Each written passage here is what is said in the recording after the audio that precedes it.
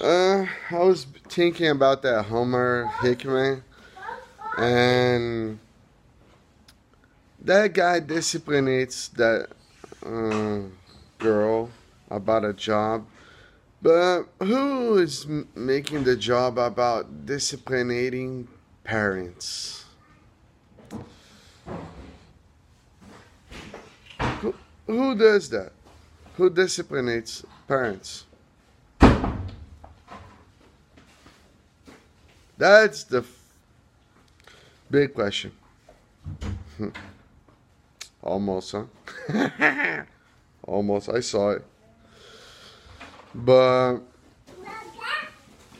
maybe we should have better parents, and parents should learn something somewhere, you know. They should evolve to better parents. It's very difficult. You see a, a bad father becoming a good father that's like that's like worse than lottery. That's like even Hollywood doesn't do movies like that. You know, it's like one movie like that every like ten years. No, I don't know. I, I I'm I'm a father of two right now, and it's been a long time I don't see a film, so.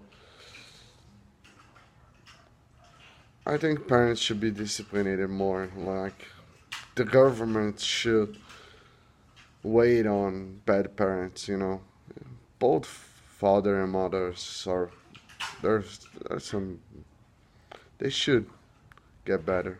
There's some bad parents. Guys, gives a thumbs up. That was my tough thought of the day. Um, gives a thumbs down if you're a bad parent and you think you should be boss of yourself and you you can evolve. I'm not gonna evolve to not something better. I'm not gonna become better. I'm gonna become suck parents. Oh, thumbs down if you're that one. oh, I like that style of vegan police, uh, vegetable police. Yeah, thumbs down, thumbs up. bye bye, guys.